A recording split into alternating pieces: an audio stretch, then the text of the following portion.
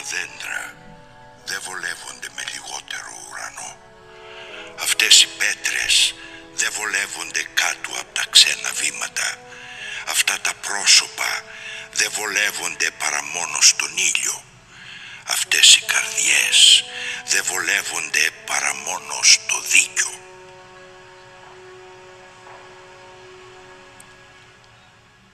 Αδέρφια, απόψε δεν είμαι πια ποιητής.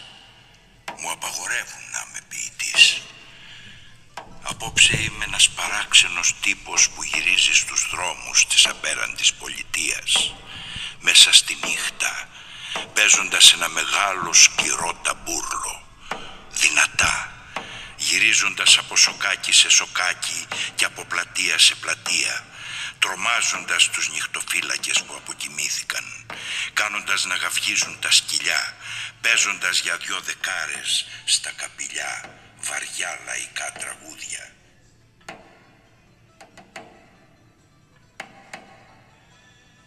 Εδώ, κάτω από την καρδιά μου καρφώθηκαν οι σφαίρες οι πρωινές. Μπήγονται όλο ένα πιο βαθιά. Τώρα, τώρα σιγά σιγά που ξημερώνει και θα ακουστεί το σφύριγμα όπου να είναι. Ελάτε, έλα εσύ Γιώργο, έλα Μιχάλη, έλα Ραούλ.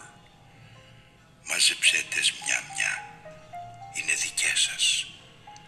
Σήμερα το πρωί στις πέντε πριν βγει ο ήλιος, πριν, πριν ακόμη από τα καμιόνια, τις μάζεψα για σας.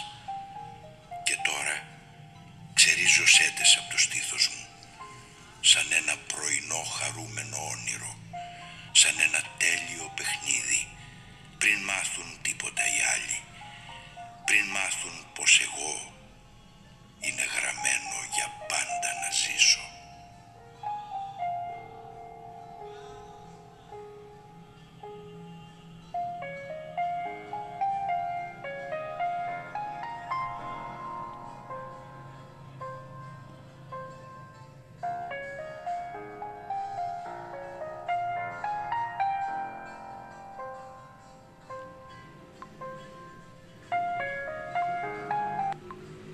Μάλιστα.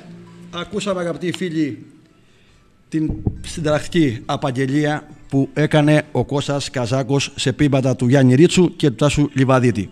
Εμάς μας έχει ήδη συγκλονίσει, αν και είναι τη δεύτερη φορά που το, που το βάζουμε εδώ στην εκπομπή, μας έχει συγκλονίσει. Λοιπόν, όμως μπήκαμε σε ένα πάρα πολύ ωραίο κλίμα. Στη γραμμή μας περιμένει η κυρία Λίλα Καφαντάρη. Καλή σας ημέρα κυρία Καφαντάρη. Ε, δεν ξέρω αν, αν ε, μεταφέραμε αυτό που εμείς αυτή τη στιγμή έτσι βιώνουμε γιατί ε, εμείς αποχαιρετήσαμε και αποχαιρετούμε τον Κώστα Καζάκο ε, όπως μας είπαν ε, οι δύο που μίλησαν για τον Κώστα ο Παρασκευάς ο Παπαπετρόπουλος σκηνοθέτης εδώ στον Πύργο και ο Μάτσος Παρασκευόπουλος πρώην Δήμαρχος Πύργου είπαν ότι ήταν έντιμος, ευθύς, καθαρός, αγωνιστής. Εμείς τον αποχαιρετούμε με πολλές έτσι, ε, εκφάσεις του βίου του. Μία από αυτές είναι και το τοπικό. Ήτανε πυριώτης. Κάνουμε δηλαδή μια στάση, το τιμούμε σαν πυριώτη, σαν αγωνιστή, σαν ηθοποιό και σαν σύντροφο. Και είμαστε συγκλονισμένοι και γι' αυτό ε, ε, μπορεί να καταλάβεις και από τη φωνή μας ε, το, το φορτίο που ε, πρέπει να βγαίνει. Λοιπόν, να μιλήσουμε περαιτέρω. Τι να σας πω, κοιτάξτε η καθαρότητα και η εντιμότητα του Κώστα δεν ήταν ανεξάρτητη από την ιδεολογία του. Ναι, Ο Κώστας ήταν κομμουνιστής ναι, και κομμουνιστής με μεγάλη συνέπεια λόγου και πράξης. ναι, Όλη του η υπόσταση, ο- η ολοκληρωμένη τεράστια προσωπικότητά του αντανακλούσε και στη ζωή και στην τέχνη και η τέχνη του ήταν συνδεδεμένη και με τη στάση ζωής του. Άλλωστε ο ίδιος έλεγε ότι δεν φτάνει να είσαι ε, εργάτης, φοιτητής, επιστήμονας, καλλιτέχνης. Χρειάζεται να είσαι κομμουνιστής. Χωρίς αμφιταλαντεύσεις, χωρίς ε, καθαρά και εξάστερα. μάλιστα. Γιατί ο κομμουνιστής 100 χρόνια τώρα είναι ο ορκισμένος εχθρός της εκμετάλλευσης ανθρώπου από άνθρωπο. Αυτή ήταν η στάση ζωής του Κώστα. Και άρα και ο χαρακτήρας του, και μάλιστα από πολύ νωρίς όπως ξέρετε, ναι. πάρα πολύ μικρός, πήρε τις ευθύνες της οικογένειάς του και έγινε ο βράχος όλων. Ένας βράχος που στήριζε πάντοτε, εκτός από την οικογένεια, ταγμένος από νωρίς δίπλα στο Κομμουνιστικό Κόμμα, ήταν στήριγμα και για όλους τους αδύναμους. Και αυτή η ποιότητα τον χαρακτήριζε. Ήταν ένας άνθρωπος με βαθιά μόρφωση, πολύ πλευραταλαντούχος και πολύ καλλιτέχνης, αυτό που λέμε εμείς. Δηλαδή ήταν, σκηνοθετούσε, Ναι. ε, έκανε μεταφράσεις, ε, δίδασκε υποκριτική, την αντιμετώπιζε την υποκριτική με- στην ποιότητά της ως επιστήμη, γιατί αυτό είναι υποκριτική. Και ο Κώστας, εκτός από ταλαντούχος καλλιτέχνης, ήταν επιστήμονας Ναι. ηθοποιός. Αυτή του λοιπόν η σύνδεση με το Κομμουνιστικό Κόμμα και την ιδεολογία του τον έκανε κοινωνικά χρήσιμο. Αυτό που εμείς θεωρούμε ότι οφείλει ο κάθε άνθρωπος που έρχεται στη γη, μια και είμαστε κοινωνικά όντα, να είμαστε και κοινωνικά χρήσιμα όντα, για να έχει νόημα η ίδια μας η ζωή.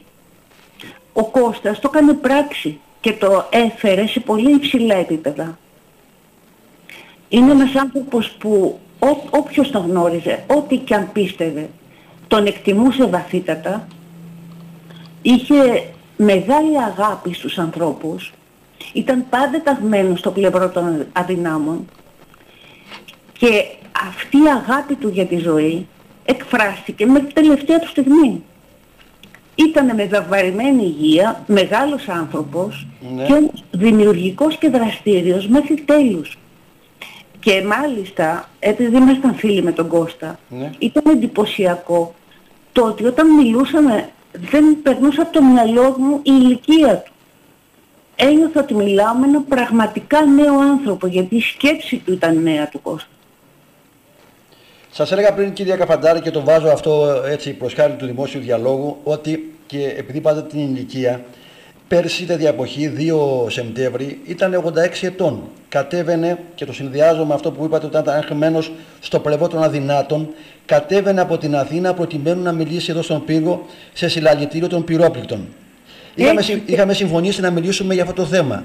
Κατε- Ε, δεν θεματούσε ο αγώνας του Κώστα και η παρουσία του, η- Ναι. η δυναμική στο κίνημα, στις διαδηλώσεις, στον αντι- αμπε- αντιυμπεριαλιστικό πόλεμο. Ε, δεν, δεν σταμάτησε μία στιγμή να είναι παρόν στη μάχη απέναντι, απέναντι στο εκμεταλλευτικό σύστημα που θεωρούσε ο ίδιος ότι δεν μπορείς να είσαι με το ένα πόδι εδώ και με το άλλο. Δεν μπορείς να στηρίζεις τον καπιταλισμό και από την άλλη να μάχεσαι υπέρ των αδυνάτων. Είναι ένας ανηρήνευτος αγώνας απέναντι σε αυτό το σύστημα όταν αγαπάς τους ανθρώπους πραγματικά και θέλεις να έχουν δικαιώματα και ποιότητα ζωής, οι εργαζόμενοι, αδύναμοι. Μάλιστα. Ε, αυτό ήταν ο Κώστας. να δούμε, κυρία Καφαντάρη, ε, και ορισμένα χαρακτηριστικά ε, της προσωπικότητάς του. Ε, Και θέλω να πω ότι ο, ο ίδιος ήταν παλικάρι και στο σώμα και στην ψυχή. Αναμφισβήτητο. Είπατε ότι ήταν βράχος. Ο σωματότυπός του και μόνο, αλλά και η φωνή του και η αγέρωση- αγέροχη στάση του, το, αυτό το επιβεβαίωναν. Εγώ θυμάμαι την παράσταση που είχα παρακολουθήσει Προμηθέας Δεσμότης που δεμένος τώρα σε ένα ε, στήλο φτιαγμένο και στο σαν θεατρική σκηνή στη, ε, επί δύο ώρες ε, απήγγελε τον Προμηθέα Δεσμότη. Ε, εσείς τώρα το ζήσατε σαν ηθοποιό και σαν άνθρωπο του πνεύματος και του πολιτισμού. Τι μπορούμε να πούμε επιπλέον ε, αφού τον έχετε ζήσει από κοντά σε αυτά τα θέματα; Ε, δεν ξέρω τι παραπάνω να σας πω από αυτό που σας είπα για τη συνέπειά του και Ναι. το δόκιμό του, η τέχνη του, αντανακλούσε την ιδεολογία του. Ναι, δηλα- δεν ήταν ανεξάρτητη. Είχε πλήρη επίγνωση ότι δεν υπάρχει ουδέτερη τέχνη. ναι, Ότι όπως η κοινωνία και η τέχνη είναι ταξική, πρέπει να παίρνει θέση. Και έλεγε μάλιστα ότι φυσικά το θέατρο δεν πρόκειται να αλλάξει τον κόσμο. Αυτό που μπορεί να αλλάξει όμως είναι το επίπεδο συνείδησης των ανθρώπων. να τους βοηθήσει να αντιληφθούν τη δύναμή τους. Τη δύναμη που έχει ο εργαζόμενος, γιατί ο εργαζόμενος είναι ο, ο παραγωγός του πλούτου. Άρα αυτός έχει τη δύναμη, αυτός μπορεί να αλλάξει τη ζωή του. Μάλιστα. Οργανωμένα και δίπλα στο Κομμουνιστικό Κόμμα Ελλάδας. Και αυτή είναι η μόνη διέξοδος ρεαλιστική που έχουν οι εργαζόμενοι. Αυτό λοιπόν μέσα από την τέχνη του έκανε τα πάντα για να το περάσει, για να ανεβάσει το επίπεδο συνείδησης των εργαζόμενων, των θεατών.